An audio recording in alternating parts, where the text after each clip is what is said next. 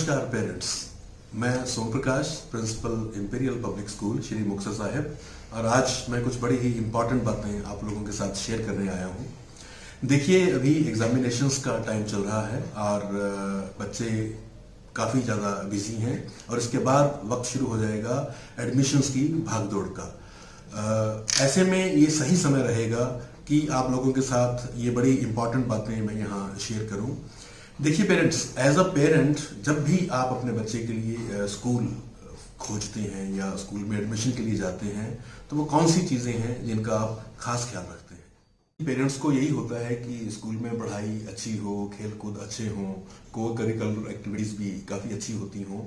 तो लेकिन इन सब के अलावा भी अगर आप मेरे नज़रिए से देखें तो आपको जो सबसे इंपॉर्टेंट सवाल पूछना है किसी भी स्कूल से, वो ये कि आपके बच्चे की स्कूल में इन्वॉल्वमेंट कितनी है और उसकी ग्रोथ के लिए स्कूल में उसे कितनी अपॉर्चुनिटीज़ अवेलेबल हो रही हैं। जी हाँ पेरेंट्स देखिए टैलेंट सब बच्चों में हो सकता है और होता भी है, लेकिन डिपेंड करता है कि उस टैलेंट को अपॉर्चुनिटीज़ कितनी मिलती हैं।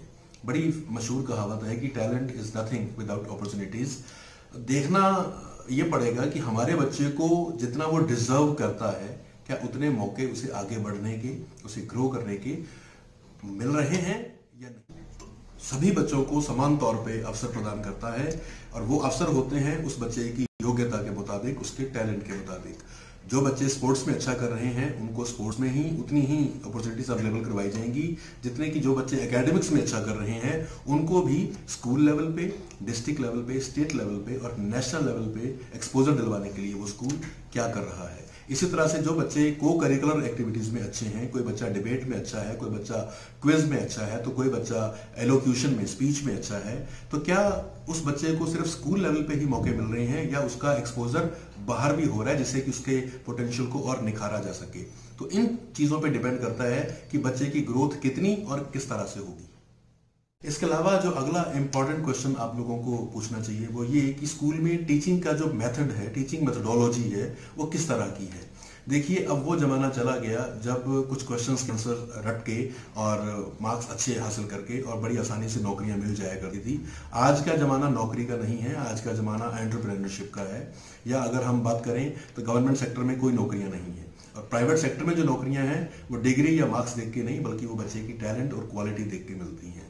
तो ऐसे में ज़रूरी है कि बच्चा जो भी सीख रहा है, जो भी पढ़ रहा है, उसको वो बच्चा सीखे। और इसके लिए एक्सपीरियंशियल लर्निंग का जो कॉन्सेप्ट सीबीएसई ने दिया है, क्या स्कूल वाकई उस कॉन्सेप्ट के अकॉर्डिंग टीचिंग कर रहा है? क्या स्कूल के टीचर इतने ट्रेंड और क्वालिफाइड हैं कि वो जो भी टॉपिक पढ़ा रहे हैं, उसके साथ किसी ना किसी एक्सपीरियंशियल लर्निंग एक्टिविटी को कनेक्ट कर पा रहे हैं और बच्चा अपने पढ़े हुए टॉपिक को वास्तव में अपनी ज़िंदगी में उतारने के लायक बन रहा है कि नहीं? क्वेश्चन है कि स्कूल का लर्निंग एटमॉस्फेयर कैसा है?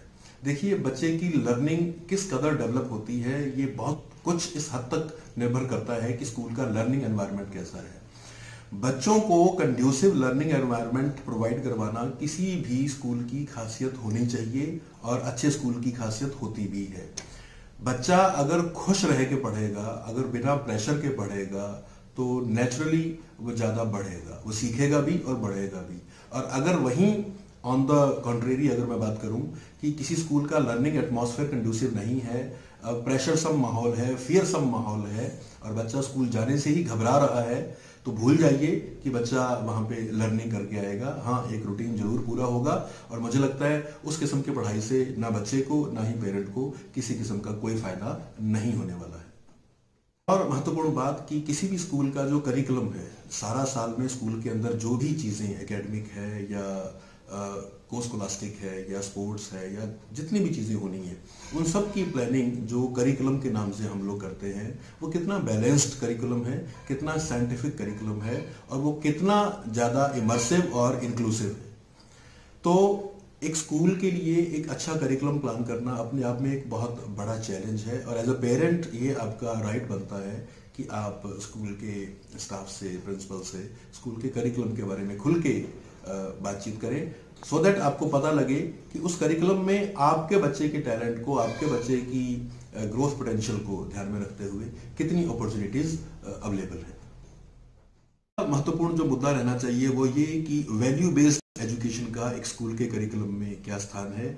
आज हम देख रहे हैं कि सोशल मीडिया या इंटरनेट का जमाना है, क्राइम रेट भी बड़ी तेज़ी से ऊपर जा रहा है। तो ऐसे में नेचुरली हमें एज अ पेरेंट अपने बच्चों की सिक्योरिटी की और अपने बच्चों के राइट मॉरल डेवलपमेंट की फ़िक्र होती है। तो स्कूल का मॉरल एजुकेशन का जो प्लेटफॉर्म है, वो किस कदर स्ट्रॉन्ग है? स्कूल क्या एफर्ट खास तौर से क्या कोशिशें स्कूल करता है कि बच्चों के अंदर एक हाई लेवल ऑफ़ मोरालिटी को इनकलकेट करने के लिए या उसको डेवलप करने के लिए स्कूल कौन कौन से कदम उठा रहा है? बच्चों के साथ कम्युनिटी पार्टिसिपेशन है या फिर पेरेंट्स की काउंसलिंग है? आज इस चीज़ की भी बड़ी ज़रूरत है कि स्कूल का एक बहुत अच्छा कनेक्ट पेरेंट्स के साथ इस्टेब्लिश हो पेरेंट को अपनी बात रखने का, स्कूल को पेरेंट को अपनी बात कहने का और दोनों का एक समूचा जो डिस्कशन है जिसके साथ हम बच्चों की इवॉल्वमेंट पे काम कर सकते हैं। तो क्या स्कूल इस कदर community oriented community related activities organise करता है, जिसमें कि पेरेंट की भागीदारी भी शामिल है? तो ये चीज़ें एज अ पेरेंट हमें देखनी चाहिए, अपने बच्चे के लिए एक अच्छा और सही स्कूल का चुनाव करते हुए।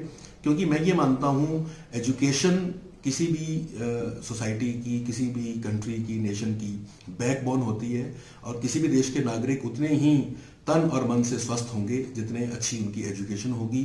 तो uh, मेरी आप सबसे ये रिक्वेस्ट कि बच्चे की एजुकेशन के लिए और बच्चे की एडमिशन के लिए आप ज़रूर ये जो ज़रूरी पड़ताल है ये करें और उसके बाद ही अपना डिसीज़न लें। बहुत बहुत धन्यवाद।